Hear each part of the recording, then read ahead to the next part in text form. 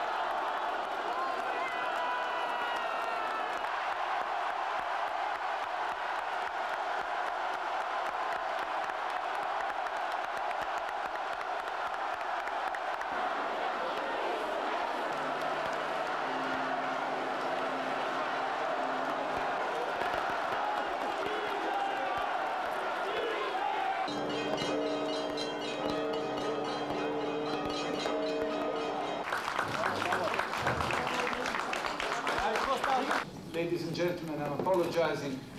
for the delay, but fortunately this delay was due to, I would say, exceptionally moving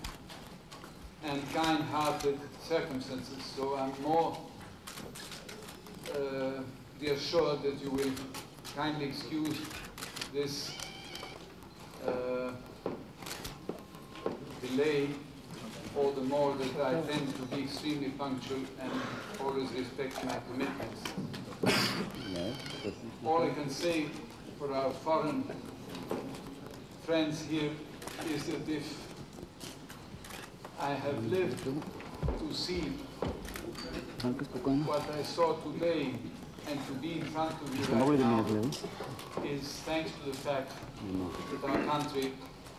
is a democracy,